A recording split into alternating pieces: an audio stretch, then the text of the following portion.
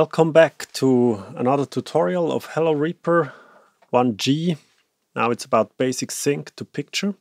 So uh, maybe you've realized already that we have uh, the sentence we, we've been working on in tutorial 1F. It's the same than uh, in the film file.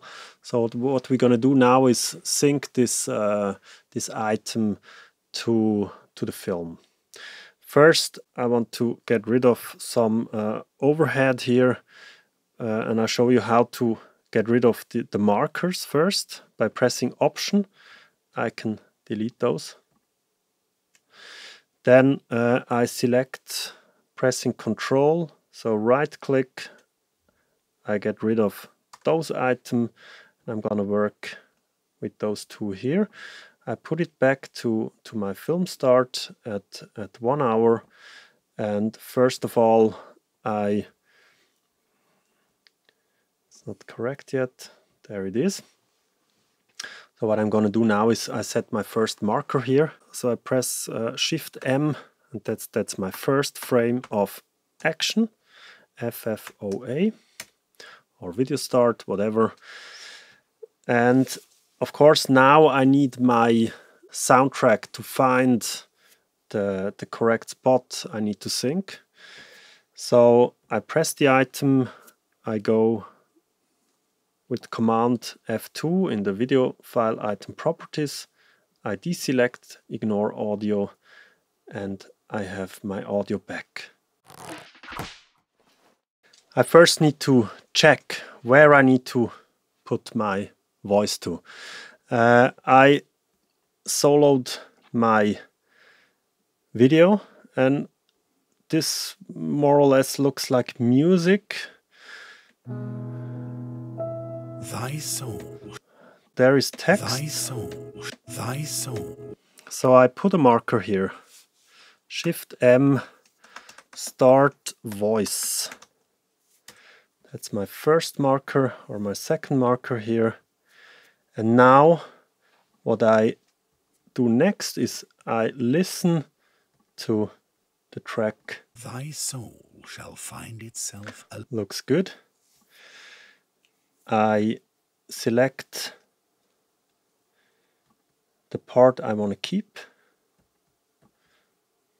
up here. Command T and now I put it here for a rough sync. I go back in my video track. Thy soul shall find itself alone mid dark thoughts of the grey tombstone. So I think the tombstone is maybe a good place to show because that part here tombstone. will be the same as here. Tombstone.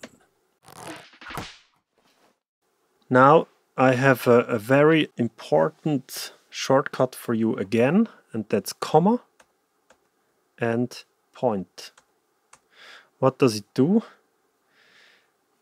It moves my media item clip in the grid. And my grid is set to frames. That's why when I when I perform now several commas or points I can move my audio around. So I jump back in here and check again. Tombstone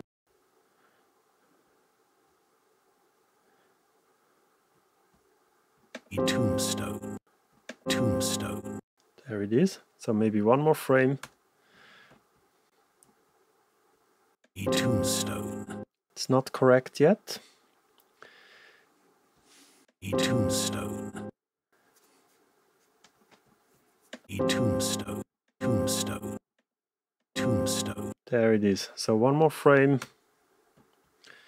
It should be correct. A tombstone not one of all the crowd to pry into thine hour of secrecy. And that's something you need to do very, very often. For example, let's go through the film. We have this door here. Huh? So maybe you have a Foley. Let's listen to it. And you need to sync the, the creaking to the door. Then you would go through the film check where is my door. There's also a shortcut for that, which is left and right.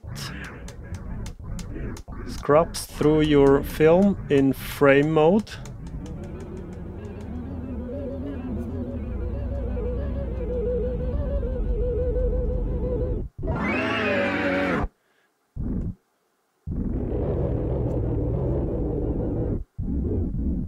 There it is, there's the opening. So I would start the creaking here huh?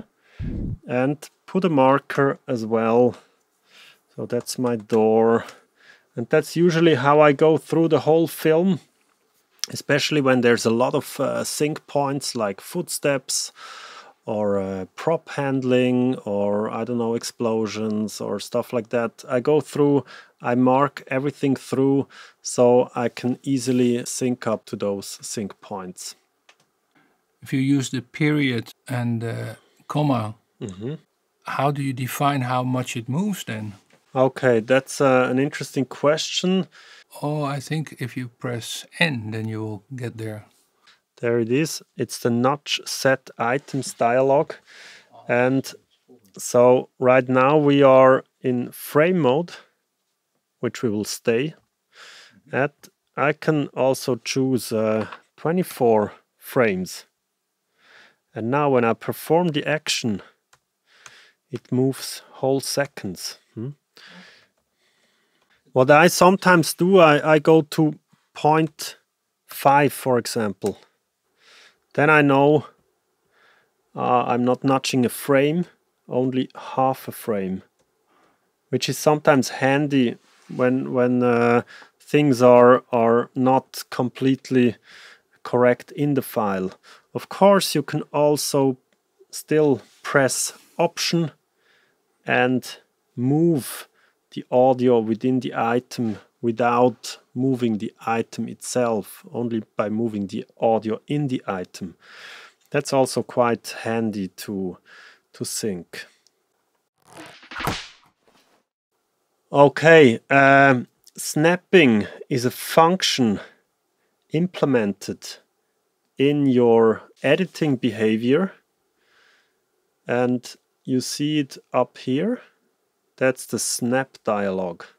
Snap dialog means when I move my items, it will always snap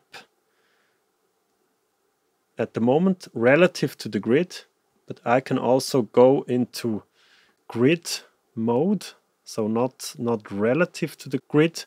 I need to show you this. It's the snap grid settings. You get it, of course, by uh, right clicking and at the moment it's it's it's set to snap relative to grid when i deselect it also the the button changes changes here so when i do it now it will snap to the grid press shift and move your items without having to worry about the grid.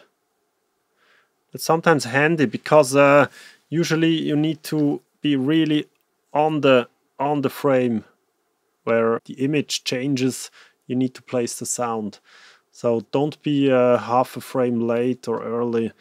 Try to do it as accurate as possible in the in some further tutorials you will be able to exercise this